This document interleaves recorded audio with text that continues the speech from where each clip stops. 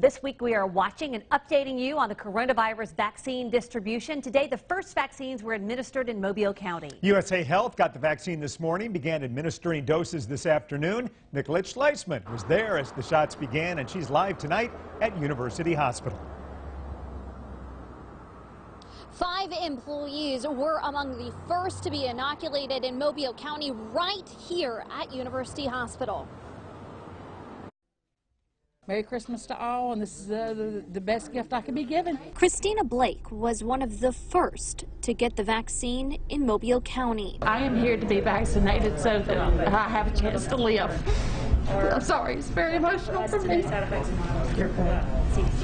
I cannot afford to get it again. She's a nurse manager at Children and Women's. In July, instead of caring for patients, she ended up being the one cared for. She contracted COVID 19 from an asymptomatic family member. I was in the ICU for nine days.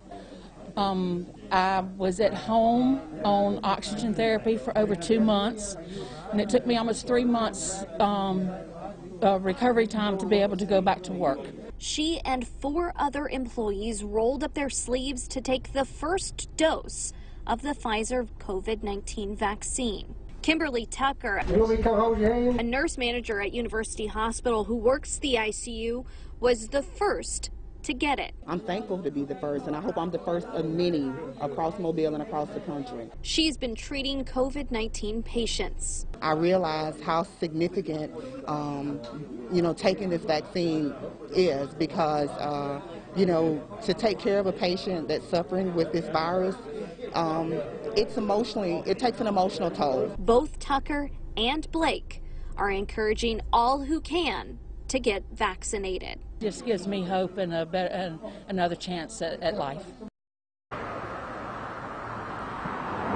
And the five now have to wait 21 days before they get their second dose of the vaccine. Reporting live at University Hospital, Nicolette Schleisman, WKRG News 5.